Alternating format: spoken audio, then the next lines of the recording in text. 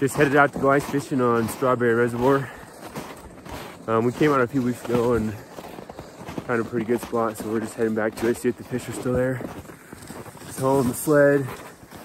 There's my father-in-law. It's maybe just over a quarter mile um, from where we parked to where we're going to start fishing.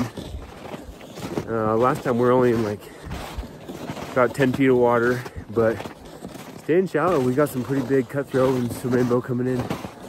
So we're just gonna try it again today, see how it goes. Hopefully we'll have some fish on here soon. I'm gonna show you exactly where we went fishing at. So we ended up setting up in four or five different spots um, throughout the course of the morning, but in general, they were right in this area, and this is right where we set up our first spot. When we got out of the truck, we saw that it was about two degrees Fahrenheit, so it was a really cold morning. Um, but that made some for some really good thick ice, and uh, luckily we had the power auger to drill through it really quick.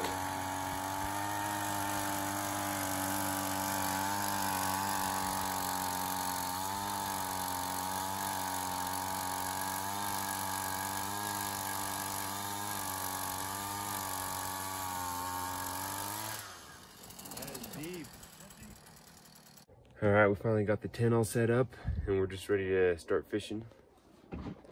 Um, yeah, we're about just in 13 feet of water, so it's not very deep, but worked pretty good last time, so we'll see how it goes. It wasn't long after putting our bait in the water that we started seeing some fish um, come take a look at it. Throughout the course of the morning, we found that white jigs with a little bit of worm on them seemed to work the best.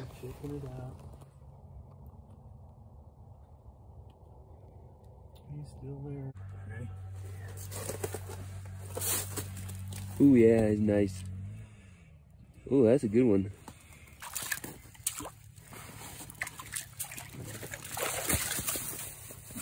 Oh, that's awesome. First fish of the day. We've only been here five, ten minutes.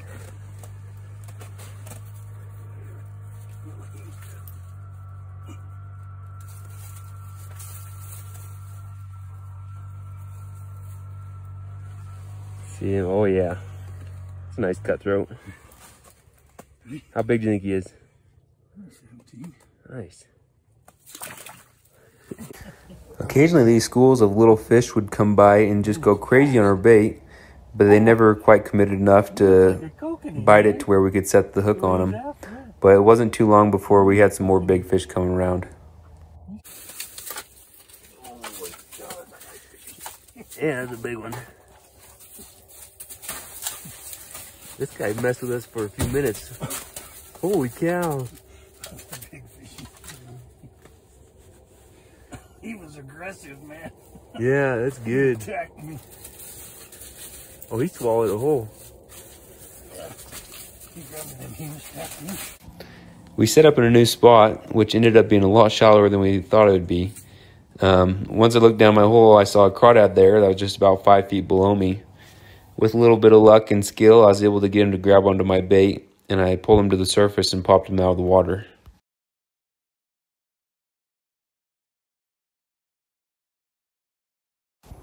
We ended up getting some nice cutthroat out of this shallow spot. All right, I got you. Well, he's good. I hope that old hook's in him. Good.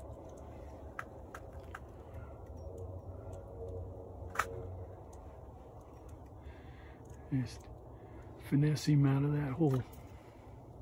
Oh, he wrapped around the other line.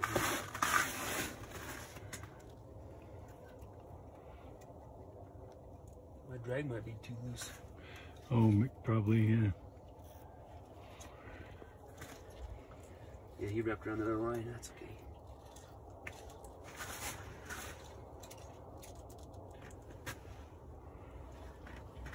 You coming up? He's coming up. He knows.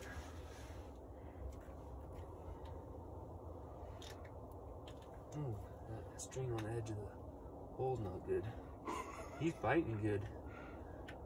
Holy smokes.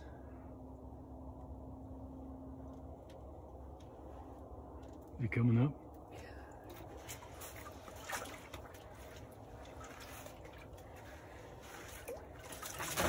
Yeah. Nice. Yeah, he wrapped around the other pole. He came out of nowhere and he just swallowed it. Let's see. I think he is like a um, 18 inches. Yeah, probably 18. He's pretty long. He's skinny though. Hold him up here. Hold him up, picture.